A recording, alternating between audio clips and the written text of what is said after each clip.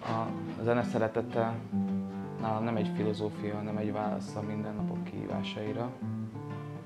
Például a hétköznapok után bármilyen pozitív vagy negatív dolog történik velem, én utána előszeretettel nyúlok a hangszeremhez. És ezt a zene szeretetét próbálom a gyerekeknek átadni a kollektív